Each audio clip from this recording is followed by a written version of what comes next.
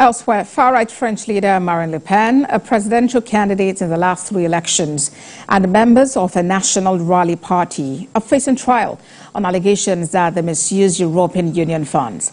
The nine-week trial due to open on Monday morning will be closely watched by Ms. Le Pen's political rivals, as a conviction could stop her chances of making another bid for the presidency in 2027.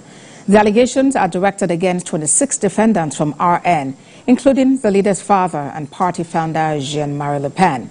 Party officials and employees, former lawmakers, and parliamentary assistants are accused of using money allocated to cover the cost of European Parliament roles to pay staff who were working for RN. Prosecutors claim that RN said the funds were used to pay parliamentary assistants of members of the European Parliament between 2004 and 2016, but that in reality the employees were working exclusively in other roles for the party.